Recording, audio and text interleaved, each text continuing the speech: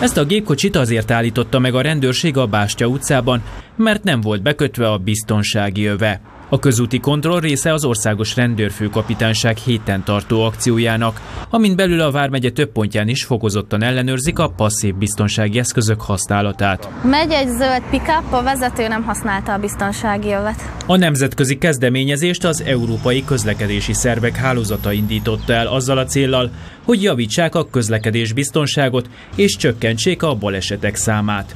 Az autósoknál a biztonsági övés gyerekülés használatát, a motorosoknál a bukósisak viselését ellenőrzik a rendőrök.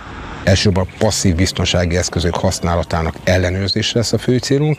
Erre azért van szükség, mert ezek az eszközök olyan eszközök, amelyek alkalmasak arra, hogy egy, egy baleset bekövetkezés esetén az esetleges súlyossági fokot enyhíteni alkalmasak, vagy enyhíteni hivatottak.